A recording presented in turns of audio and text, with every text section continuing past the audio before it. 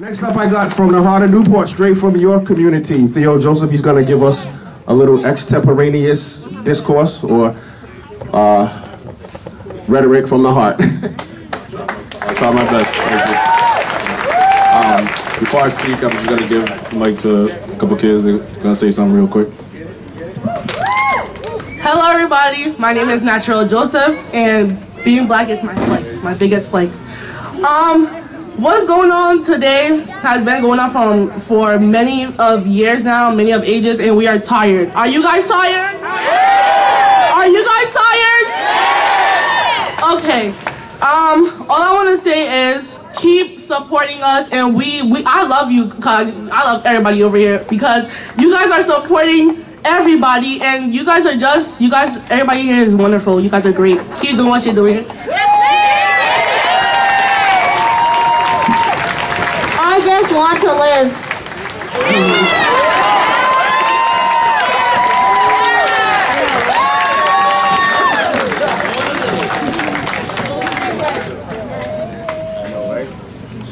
Hello, and thank you to everyone who came out today and has come out to all the protests across the country and across the world. I want to shout out all the white people that are here that continue to show up to fight injustice. We need you and we love you for that.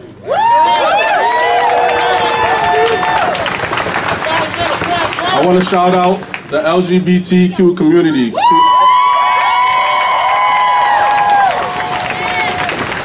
who always shows up to fight injustice. Together we rise, divided we fall. Yesterday I was asked by Brother Gary to give a speech. When he asked me, I was immediately scared. I was worried that the speech would not be powerful enough. And if I'm going to give a speech, I wanted to match your passion and your dedication to the cause. So here it goes. My name is Theophilus Decantee Joseph Jr. I'm an entrepreneur and a social justice activist. I run a company called Most High Industries in Johnston, Rhode Island. We specialize in working with youth, um, developing their skills, teaching them how to be entrepreneurs like ourselves, sending them off to college, getting them an education, and then hiring them to work for us as executives. Because that's where we need to go. Today, we have about 20 kids from Providence, Rhode Island that are involved in our programs. And we have four going to college this year, and we'll be helping them.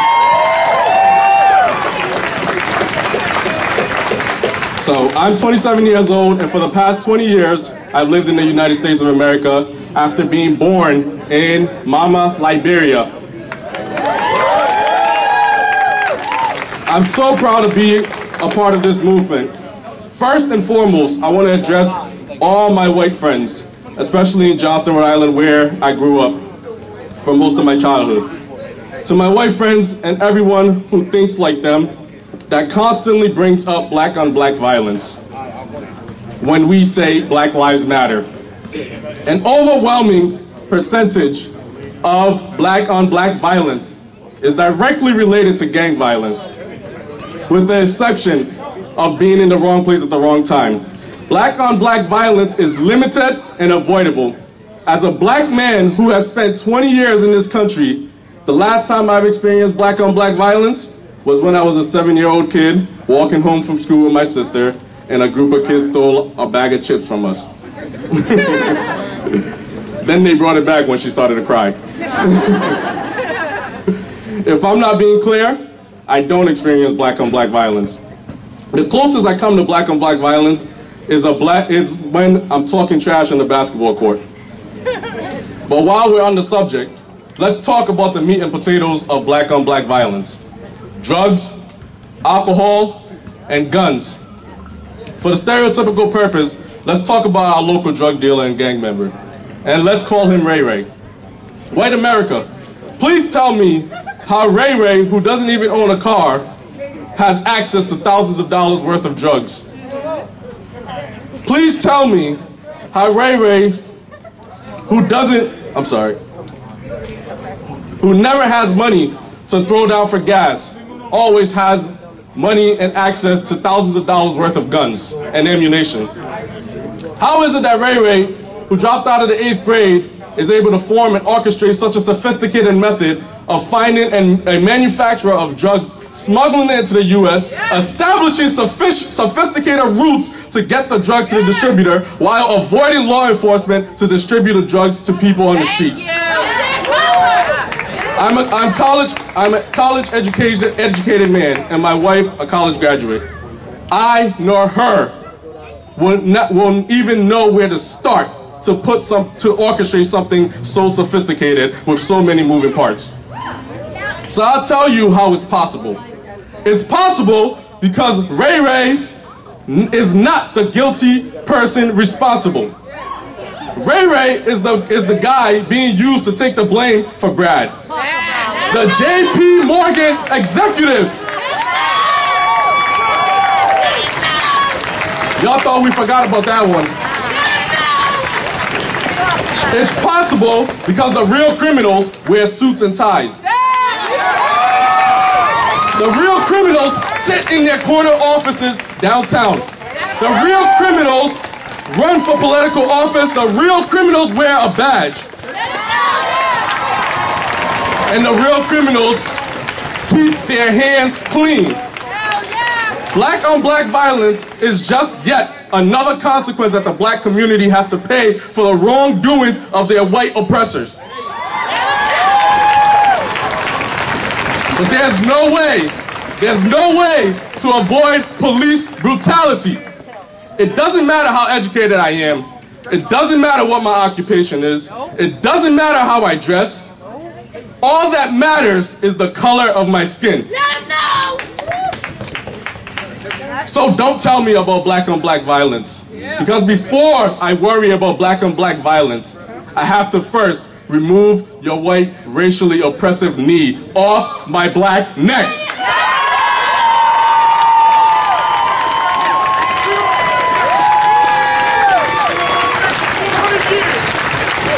To all my people out there who are more vocal about the riots than about the real injustice, I say to you after all this time with little to no progression, I say to you, do we not have the right to be this angry?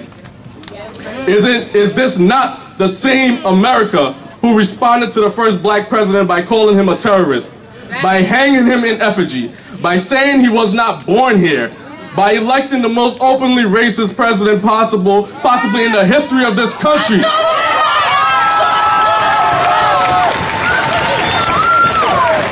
That sink in that Donald Trump is in the same boat as the presidents who owned slaves. Is this not still the country that brought over slaves in the early 1600s? Is this not still a country that murdered Native Americans and stole their land?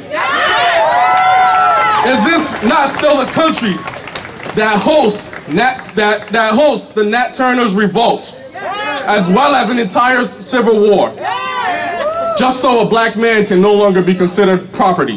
Thank you. Is this not still a country that killed millions of people because of the color of their skin? Is this not still a country that lynched and burned our people and our properties? Is this not still a country that murdered Emmett Till, an innocent child? Is this not still a country that fought an entire war overseas to free Jewish people from Hitler? While, while at the same time not allowing people of color to eat with them, to talk to them, to work with them, to go to school with them, to drink from the same fountain as them, or even, or even to sit next to them. Is this not still the same country that burned down Black Wall Street? Is this not still the same country that implemented redlining? Is this not still the same country that forced drugs into our community as well as violence? Then immediately waged war on us because of the drugs and violence. Is this not still the same country who assassinated the president that abolished slavery? Is this not still the same country who assassinated the president that was about to abolish segregation? Is this not same country that assassinated one of the most prominent freedom fighters in black history, Dr. Martin Luther King? Is this not still the same country that is doing the same old shit, just a different day?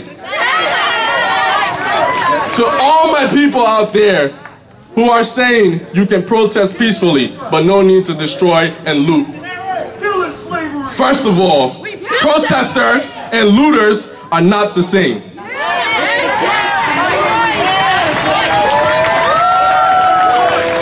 Secondly, secondly, have you forgotten your history, white America?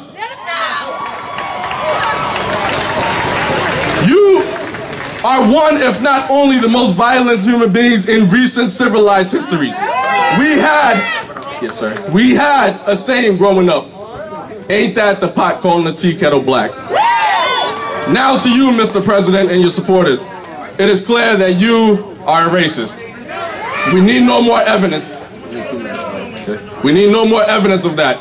You have given us an overwhelming abundance, and enough is enough.